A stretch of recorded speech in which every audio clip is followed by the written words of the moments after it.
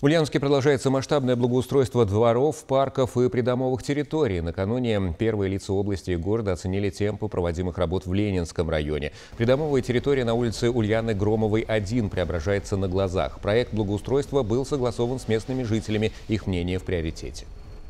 Здесь, кроме асфальта, устанавливаются скамейки, устанавливаются урны, делается освещение, делаются дорожки. И вот это все, оно действительно сказывается позитивно. Почему? Потому что люди последние ремонт этих дворов видели в то время, когда строились эти дома. Самое главное, что ни одного негативного высказывания в адрес этой программы никогда не было. Кроме дворов, взялись за реконструкцию городских парков, мест для прогулок и отдыха с детьми. Парк юности, участник проекта «Народный бюджет». Жители захотели сделать парк более комфортным для отдыха и подали заявку на участие в проекте. Инициатива ульяновцев поддержана. Сегодня парк юности активно благоустраивается. Здесь удалена лишняя поросль, высажены цветники. Сейчас идет подготовка к установке входной группы. Преображается и парк Победы. Парке э, были проведены различные покрасочные работы. Это и бордюры, и лавочки, и ограждения.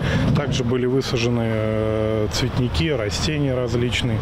Э, помимо этого всего, также была проведена противоклещевая обработка. Готовые аттракционы, техника проверена, стандартам соответствует. Прокатиться на горках и каруселях горожане смогут после снятия всех ограничений.